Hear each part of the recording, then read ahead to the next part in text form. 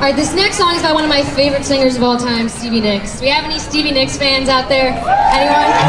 Awesome! This song is called Edge of 17.